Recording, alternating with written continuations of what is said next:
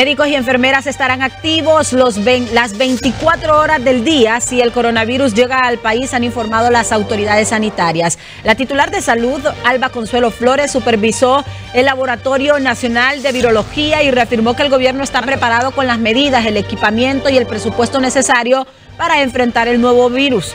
En Honduras no tenemos el coronavirus. Incluso en este momento en Centroamérica no hay coronavirus, pero tenemos que tomar todas las medidas precautorias, dijo Alba Consuelo. Y añadió que se ha activado el plan de emergencia a nivel nacional con todas las instituciones que deben estar involucradas en este momento.